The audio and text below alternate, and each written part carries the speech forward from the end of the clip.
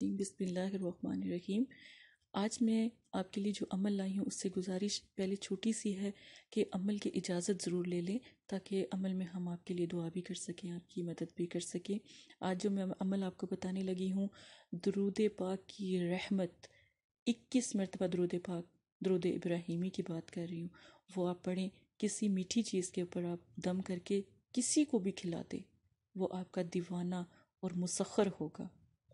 और उसके बाद आज मतलब कि जायज़ मोहब्बत के लिए जो लोग आजकल मतलब कि परेशान हाल हैं, मेरे पास भी बहुत सी दुनिया आती है।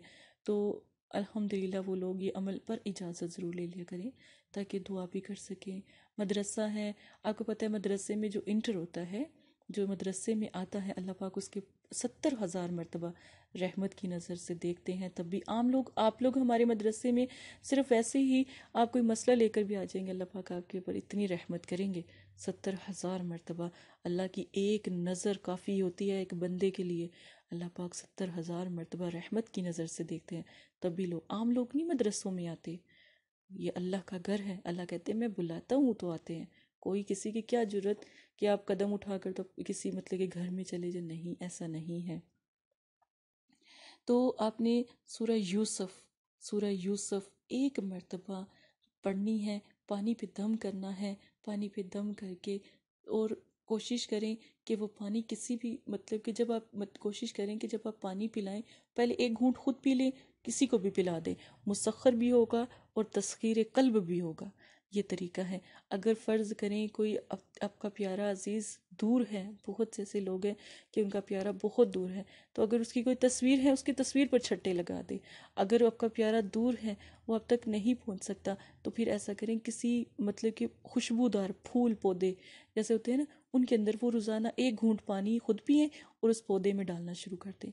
इतनी मोहब्बत होगी कि वो वापस बेचैन होकर उसको आपके सिवा कुछ नज़र नहीं आने वाला।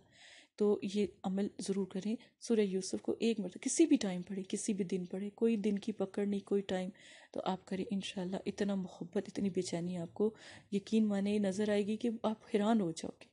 अल्लाह के कलाम में इतनी ताकत है।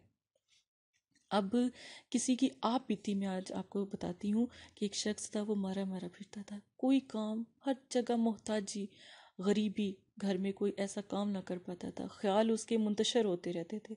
और उसके इतना परेशान था कि उसके ऊपर मुकदमेबाजी, इस तरह की चीज़ें बहुत ज़्यादा थी। लोग उसका मज़ाक उड़ाते थे। और यकीन माने पैसा उसके पास बहुत था, लेकिन वो ख़त्म हो गया, कर्ज़ उसके ऊपर आ गया।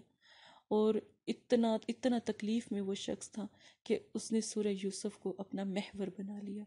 सिर्फ़ रोज़ाना उसकी दस आयातें पढ़ता।